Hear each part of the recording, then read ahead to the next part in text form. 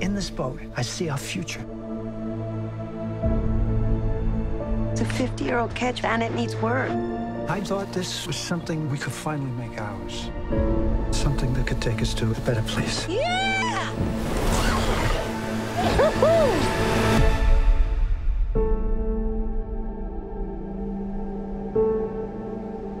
Mary has an imaginary friend now.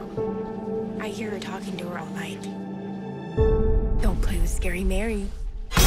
Mary! Mary, something's very, very wrong here.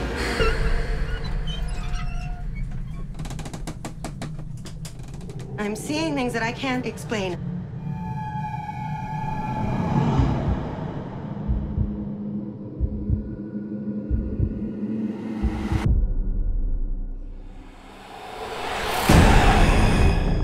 Every time this ship went out onto open water, people disappeared. The thing about boats is there's nowhere to run.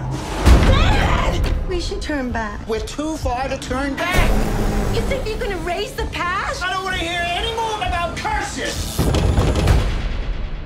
Oh my god. You thought you could bring your family to the sea. You and everything you love. It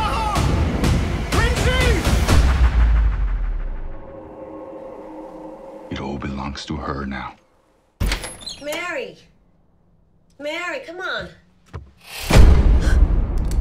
Mary!